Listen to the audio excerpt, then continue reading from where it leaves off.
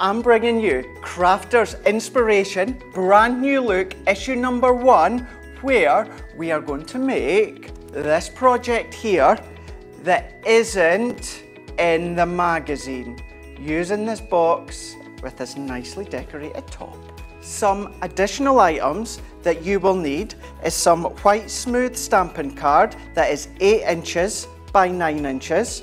You will need another piece of white smooth stamping card that is 7 inches by 8 inches. You will then need a piece of rose gold Centura Pearl. For this one, this one is 6 inches by 5 and 3 quarters. We'll need another little piece of rose gold Centura Pearl that is 2 and 3 quarters by 2 and a half inches. We will then need a piece of white smooth stamping card that is two and a half inches by two and a quarter inches. We're then going to bring in a piece of craft card that's two inches by four and three quarters. We're going to bring in a couple of little red gems that we've got here and we're going to bring in a hand-tied bow, either one that you tie yourself or one that's shop bought. From our magazine, we're going to take a piece of the pattern snowflake paper that is four and three quarters by six inches. Same pattern paper, we're going to take two strips that are one inch by four and three quarters. Using still the same pattern paper, two strips that is one by five and three quarter inches. Then we're going in with this gorgeous poinsettia pattern paper, also from the magazine. This one, two strips that are one and a half inches by five and three quarters. We're going to use another two strips of the poinsettia pattern paper that is one and a half inches by four and three quarters. Then also from the poinsettia patterned paper, we're going to take a piece that is two inches by four and three quarters and we're going to have three that are that size here. Taken what will be our three strips that are two inches by four and three quarters, we're going to bring in our guillotine. Now we're going to cut from the top left corner right down to the bottom right hand corner. So if we line this up with our guillotine, so we can get it into position, corner to corner, and we can cut. We will then do that on the other two. So if I bring these two in and bring these two in, we will then have six triangles for our box. Using our Centura Pearl, where we've cut it to six inch by five and three quarters, I'm also going to bring in my Score Master. Now along the six inch side, we're going to pop that right up against the left hand side and then we are going to score at the one inch mark. So we're going to score. We're then going to turn it anti-clockwise so our score line is along the bottom. We're then going to score at the two inch mark all the way down to our score line. Give that a couple of scores. We're then going to score at 4 inch all the way down to our score line. Now, what we can do is we can cut along our score lines right up to our score mark. So follow our score line all the way down and snip. We're going to repeat that once again. We are then going to cut down to our score line and what we can do here is I'm going to lift this middle panel and where we come right into this bottom left hand corner, I'm going to pick up one line.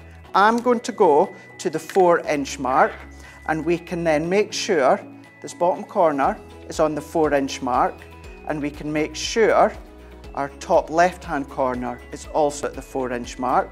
We can then score all the way down so scoring a couple of times to make sure we've got a really deep score line. What we can then do is repeat that step again. So let's fold this last one and I'm still going to follow the four inch mark.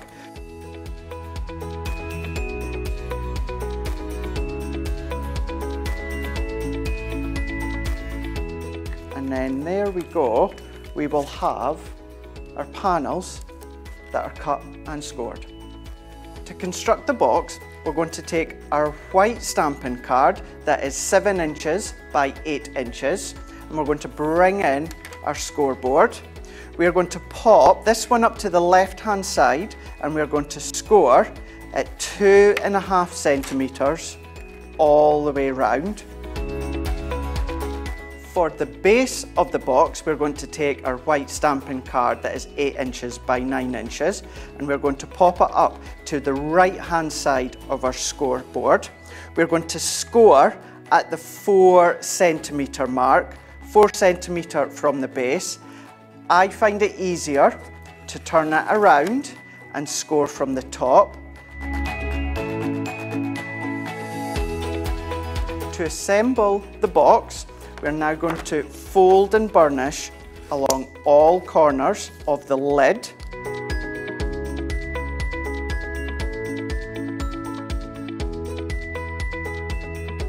And then bring in our scissors. So what we can do on one of the corners, we're going to snip up to the score line and we're going to cut a little V. We're going to do that on all four corners.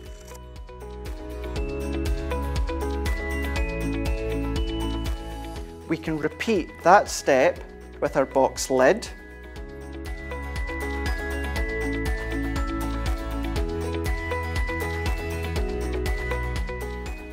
Adding our adhesive onto our strips and we're going to add these onto each of the panels all the way round the lid of our box.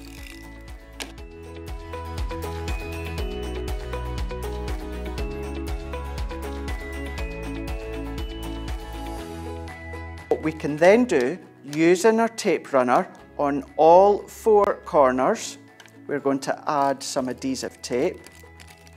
So adding our tape onto each corner. Final corner with our adhesive. Now we can fold our tab over and bring corner to corner.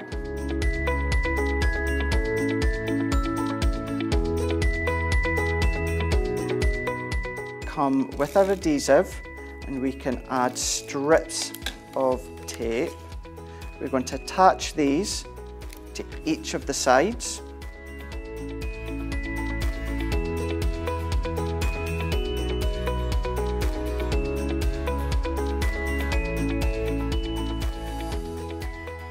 To assemble our box base, we're going to add adhesive onto all four corners.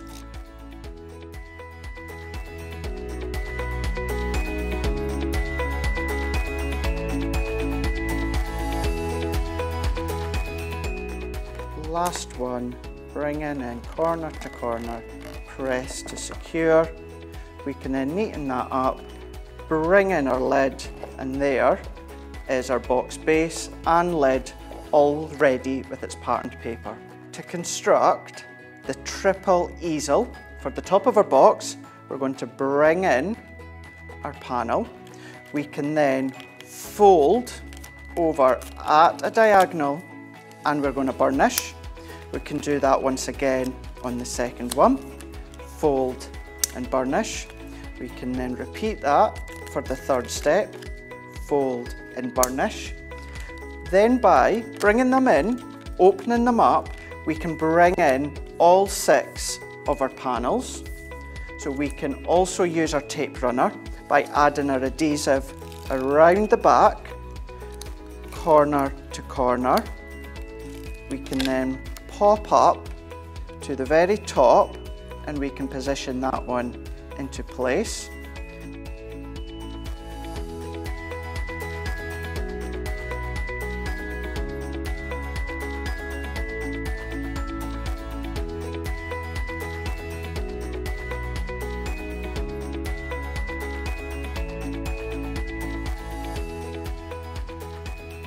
Using our pattern paper from our snowflakes, we can then fold over. Down our score line, we're going to add some adhesive. So running our tape runner down the side. We can then nicely tuck our pattern paper up to our score line and press. We can then fold these back on themselves and press, always remembering to burnish at each step. Burnish, burnish, burnish. We are then going to turn it over the back and all the way round. We're going to add our tape runner, work our way round, including the centre, bringing back in our box that can sit nicely and snugly over the top. We can then press all of these areas in, nice, tight and secure, ready to decorate our box. Using our pine cone die that comes included within the magazine, we're going to pop that onto a piece of craft card. I'm going to use our MIDI and place in our pine cone onto our craft card, closing our folder. We're going to run that one through, reverse it. We can then move our MIDI back out the way. This will give us a very, very cute little pine cone and you would do that three times. Then you can come along with some gilding wax, some Renaissance gilding wax and add a little piece to the base of our pine cone. Also doing that on three of the pine cones. What we can then do is using some foam pads, we're going to place foam pad behind each of our pine cones into the centre, roughly, and we can carry on decorating our box by positioning our pine cones into place so if we start at the top, we're going to slightly tilt the top one. We're then going to peel the back. We can then position our pine cone to the right hand side. This will create the stopper. We can repeat that step for the centre.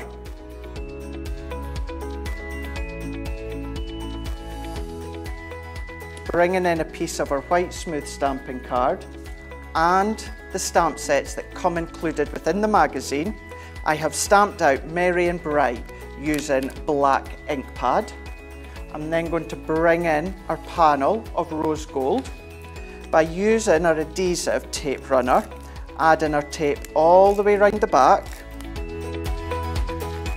We want to pop our adhesive in this bottom corner. So we're going to pop it into the bottom left hand corner so we're going to add our tape all the way down into the corner. We can then bring it in and we can secure it up into this back panel. We can press it in. We're going to add some glue gel. We can then flatten all of these to start with. We're going to add our glue gel into the back. We can position it into the top left-hand corner. Last remaining decoration from our gems, we can pick these ones up, secure them into place by popping one here. We can then bring in our medium one into place here. And last but not least, our final pearl into place. We can then position them back, each angle, and press, secure, and there is our super cute, super fun box that was made using Crafters Inspiration, the brand new look issue number one.